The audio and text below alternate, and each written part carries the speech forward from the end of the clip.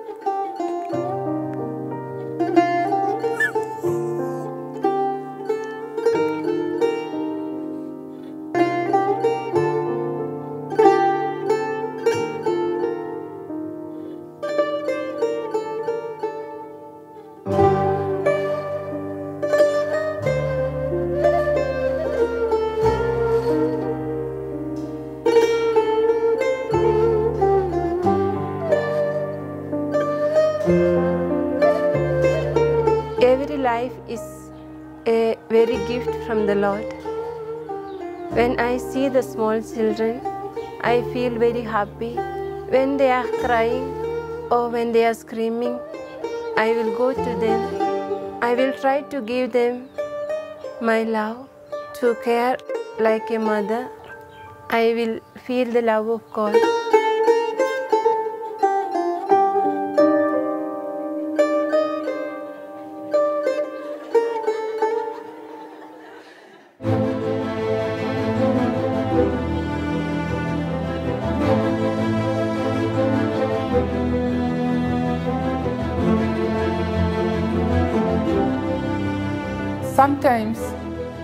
Children are abandoned because of poverty of mothers and family members. Sometimes they are abandoned in the hospitals where they are delivered. Sometimes they are abandoned in the roadside bushes. Sometimes because of irritation in the heart, depression, the mothers cannot tolerate the child crying of hunger. Maybe we cannot blame these mothers or parents. They may be hungry, they may be poor, they cannot meet the expenses of these children.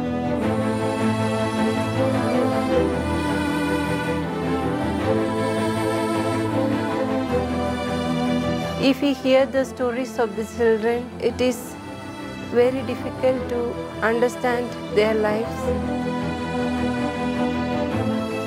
We approach them and reach them through our apostolate, through education, through prayer, through healing ministry, through social apostolate, where we take care of orphan and abandoned children infected and affected with HIV AIDS. There was an anxiety in our heart how to cope up with all this, to give them joy in their life.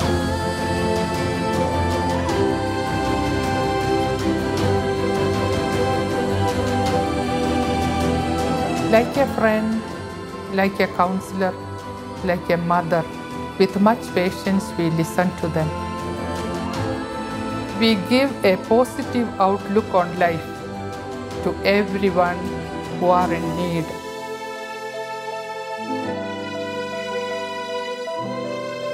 Jesus gave me health and wealth. My wealth is my sisters in the province. Even at the cost of their life, that they want to love Jesus above everything.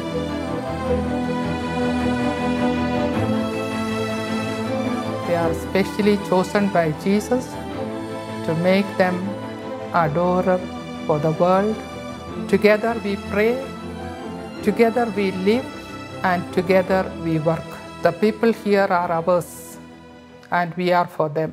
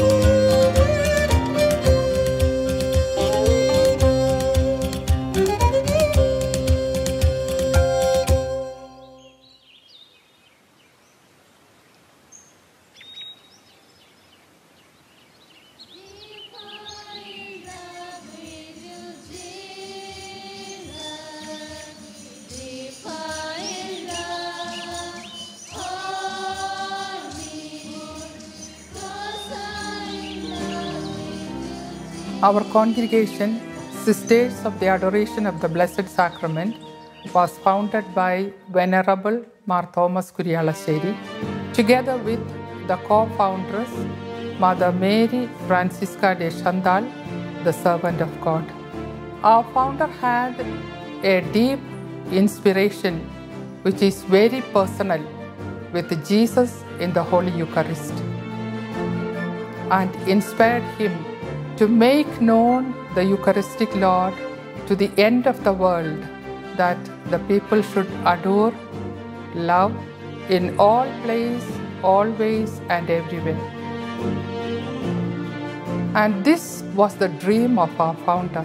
Inspired with that dream, to fulfill that dream, we started the East African Mission in 1994.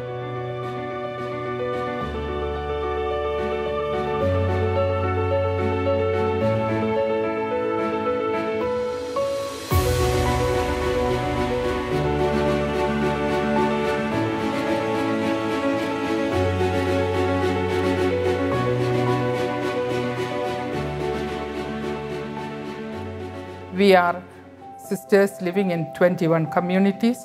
When we come out here, we selected East Africa as our mission area, including three countries Kenya, Tanzania, and Uganda. When we came first, the language is different, climate is different, people are different, culture is different, everything. There was an anxiety in our heart how to cope up with all this.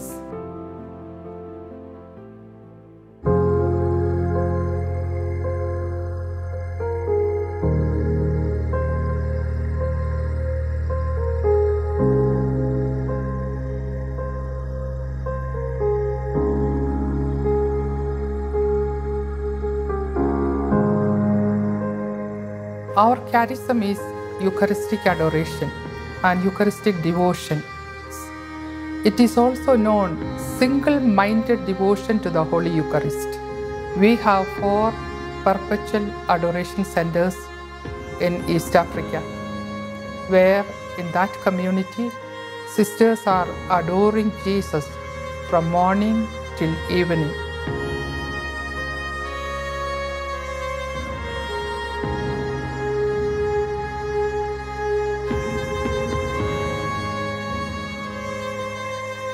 Sometimes day and night adoration will be there. During this adoration, sisters will pray for the whole world in reparation for the sins of the world, for the glory of God, for the needs of the people, and for everything in this world.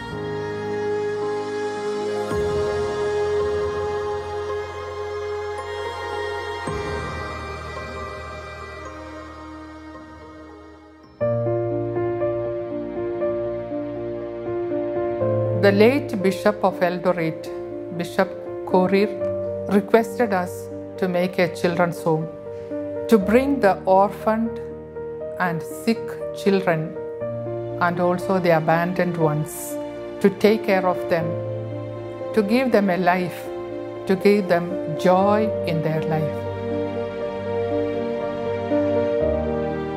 So we started that building in Kimumu, Eldoret. In the beginning, we were also finding it difficult, but today that is a home for us. We got at present 45 children, babies, infants, and school going children. Sometimes we get children at, the, at our gate, somebody abandoned the gate without clothes or anything. They are shivering, we take care of them. They are, we are receiving premature babies also with the 1.5 kilo. Then we take, we, it need a lot of concentration, close observation. Gradually they are getting mm, weight, they are gain weight. We are taking care of them, we are happy because we are saving the life. We, when we see small babies, we have an image of baby Jesus. We are taking care of that we, we got a baby Jesus.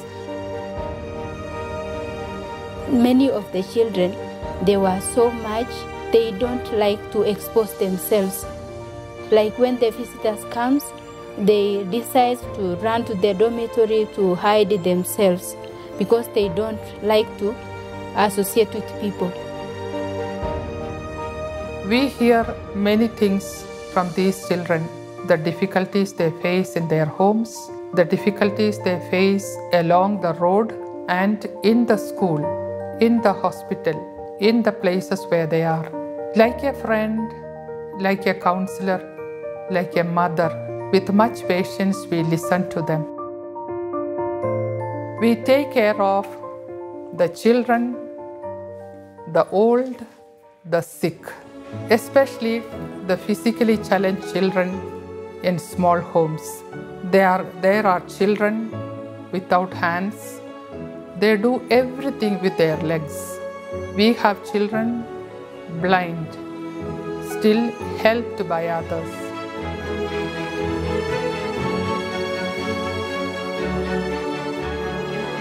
So these children, majority of them, they are hidden in their homes the parents they are not exposing them they feel like it is a curse from god and uh, this makes them to hide them in their houses without exposing them so we started uh, doing the services to these disabled children going their home visit and uh, bringing them and uh, encouraging the parents that it is not a curse but it's a gift from God.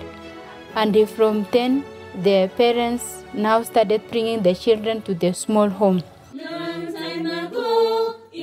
Bethlehem, so the Holy Bible says, Mary's boy child, Jesus Christ, was born on Christmas. Culturally, people fear to interact with children like that, with the people, the children with disability. But with the children, sisters of the adoration of the Blessed Eucharist, they go deep to meeting their parents and having meetings with the children and the parents to make them understand each other and to help one another in this difficult moment. Formation of the children, academically and spiritually, and to also helping the children interact and have uh, to be accepted in the community.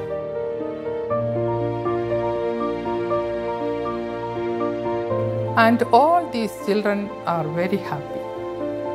And the sisters are there like a father, like a mother, like a friend. They are there.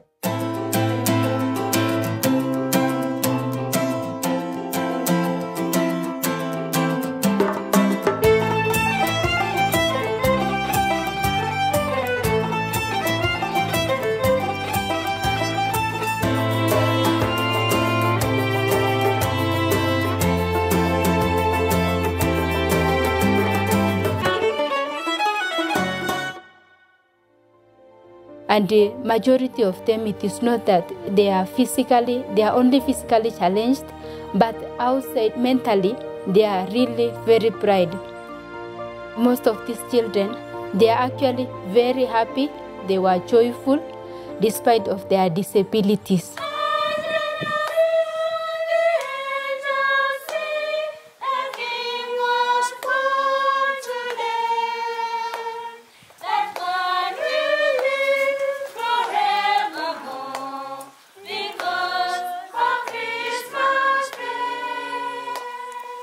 The sisters here are also running the school, an academy you have in the parish. So some of the children are studying, taking their studies at the Immaculate Heart of Mary, uh, run by Adoration Sisters of the Blessed Eucharist, and also we have a local primary school. Also the help, whereby they have made connection. We have those who are sponsoring the children in the academy, so they have made a wide connection to help the children.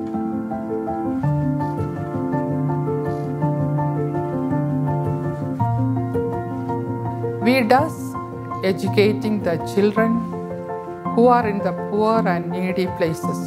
There we consider everyone as our own. We look for their health, we look for their spiritual needs, we look for their intellectual needs, and we help them in every way to study so that they could come up with a good result, they can attain a job, and be a good life.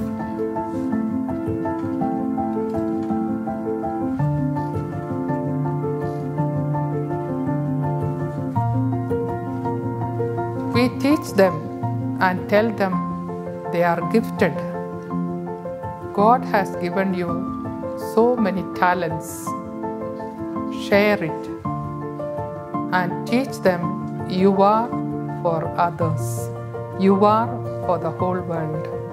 We give them chances to join the retreat and help them to grow in faith. We show them Jesus in the Holy Eucharist, which is the sole power of life. Through their counseling and uh, being with them always, playing with them, uh, giving them some spiritual exercises, and uh, being so close to them. These children, majority of them, they have exposed, they have accepted to be with the people and to experience the love that others are giving them. All together, we make a family there, meeting the needs of the children, make them happy, and a life which is full of hope.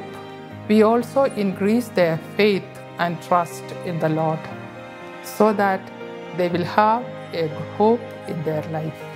Together we eat, together we pray, together we play and be happy and sleep peacefully.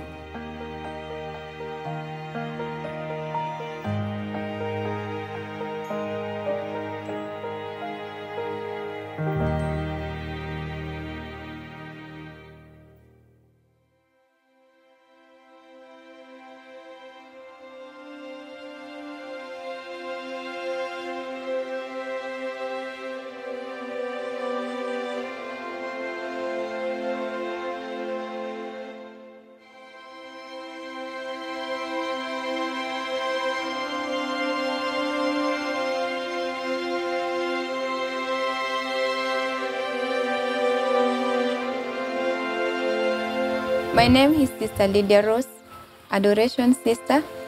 I come from Kisii Diocese, the western part of the country. I, I did my schooling and I graduated from the University of Nairobi with Bachelor of Science in Chemistry and Zoology. And I got a job with the government in the Ministry of Agriculture, Veterinary Department. After two years, I decided to go back to do my master's degree in applied parasitology. While I was doing my master's, I was feeling a deep desire to pray, to speak to God. And that's when a friend of mine invited me to a prayer house, Vincentian Prayer House, Lavington. I went for a one prayer day service. And in that prayer, I was really attracted to adoration and the preaching of the word of God. That much attraction I had, and I decided to go for the retreat.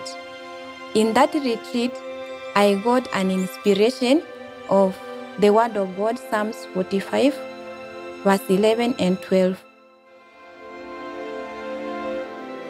Listen, my daughter, and understand. Pay me careful heed. Forget your people and your father's house, that the king might desire your beauty. Is your Lord, honor him. That word changed my life. And they confirmed that I have a vocation. I have a vocation to religious life. Then from there, I was invited to adoration congregation. That is where I I attended adoration and I saw Jesus is the answer that I've been searching for. We have to promote local vocations. We starting for children who love Eucharistic adoration, who love to learn and study and train ourselves to do and continue the work. But we together sat and thought of it. We appointed in each community one sister who is responsible for this vocation promotion. And in the province also there is a vocation leader. We tell them if you like adoration, if you want to be together with Jesus and work for Him, if you want to be together with sisters, please come. What I found and experienced is every year we get more and more children.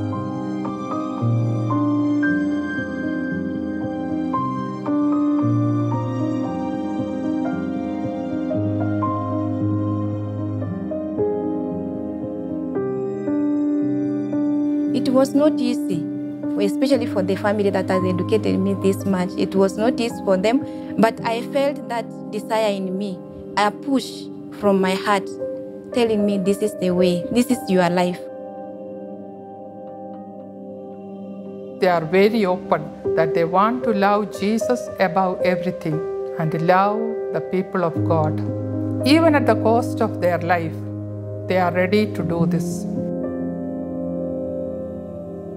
In the government, that is all about position, it's all about money, it's all about power. But in the hidden life, I have chosen Jesus who came down, up, down from heaven to lead a simple life, a hidden life in Nazareth. That is the Jesus I have chosen. And that gives me joy to follow him. Gone through formation, it's an exciting experience, healing, being corrected, being trained as an adorer. And the most exciting experience is in novitiate because in the novitiate we spend more time in prayer before Jesus. That is when I went deep down within myself to know myself, to know who, whom I am, to know who God is, and to know the congregation. I see a God who has accepted me the way I am. I saw I was running away from God, but that God kept on running after me, and they ran faster than me, and they got me back. After canceling all my interests, I see my life, my, myself so small. If that pleases Jesus for me to do the humble works in the convent, that simplicity I felt in my heart made me tell my superior whatever he wants me to do, to lead a hidden life. I no longer need to go to the public. I can do the simple work in the convent. I can cook for the sisters. I can clean the convent. I can do garden work. That is enough for me as long as I have time to be with my Jesus. My consecration means I have totally given God everything my time, my life, everything. I have nothing on my own. It is God. All these candidates coming to us, they are specially chosen by Jesus to make them adorer for the world, for the glory of God, and for the congregation. So together we pray, together we live, together we eat, and together we work. Now we have 30 sisters, both perpetually professed and temporarily professed. These 30 sisters are gems in our congregation.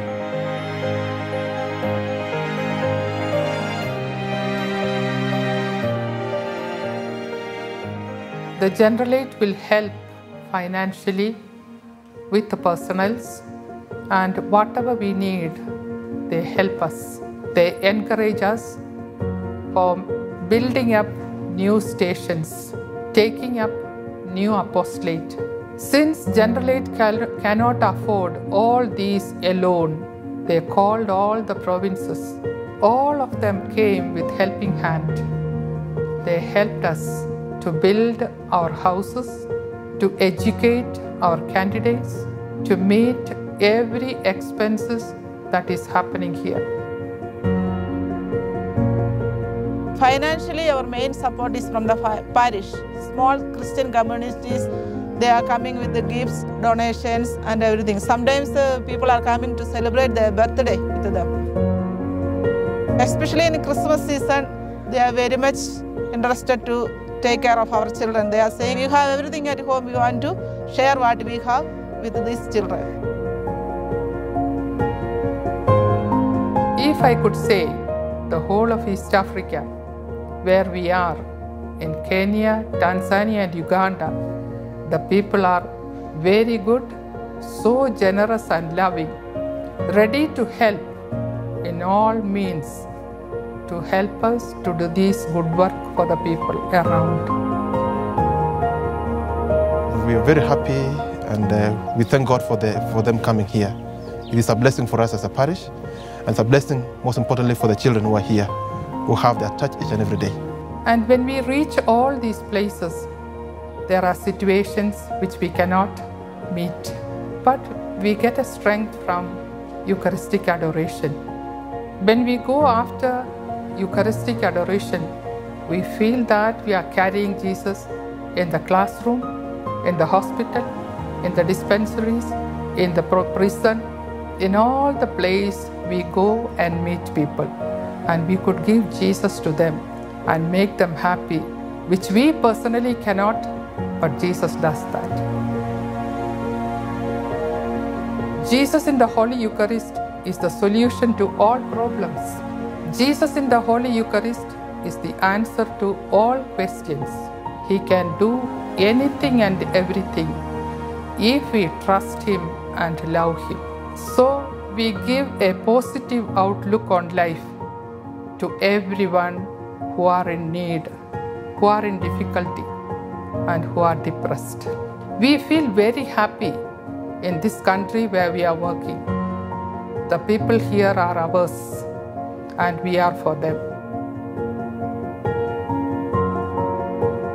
To us, sisters, when we look at our life, apart from the help we receive from the people, we are with Jesus.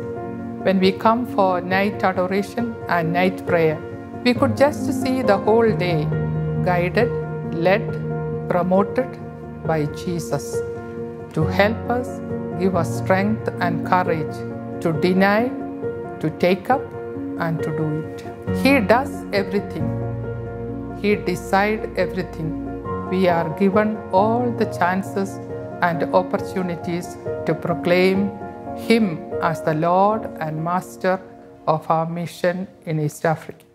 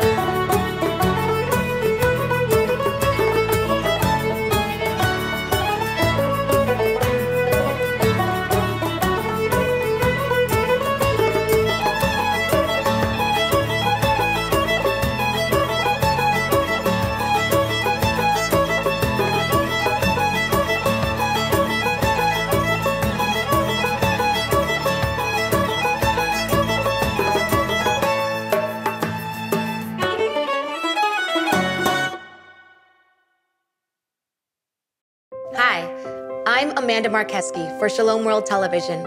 I'm one of the many who love this 24 7 mission driven family channel. The channel that brings the peace of Christ to over 375 million English speaking people all over the world. I want to share a simple message of gratitude for your prayers and generous support. I also want to share some exciting news.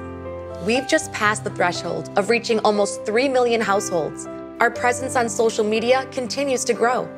We now have close to half a million Facebook followers. You already experience the difference that Shalom World makes. And you probably know that what we do is the result of your prayers and your financial support. We can't do this without you. Our 1,000 plus original programs have been made possible because you watch, you pray, and you support us so generously. But all this good news is not the full story. Television production requires creative, technical, and financial resources. Sometimes, the challenges of making ends meet seem overwhelming. When many disciples abandoned Jesus, our Lord asked Peter if he too would go. St. Peter replied, Master, to whom shall we go? You have the words of eternal life. This truth is why we're here to help share the life giving word, Christ Himself, with all the world.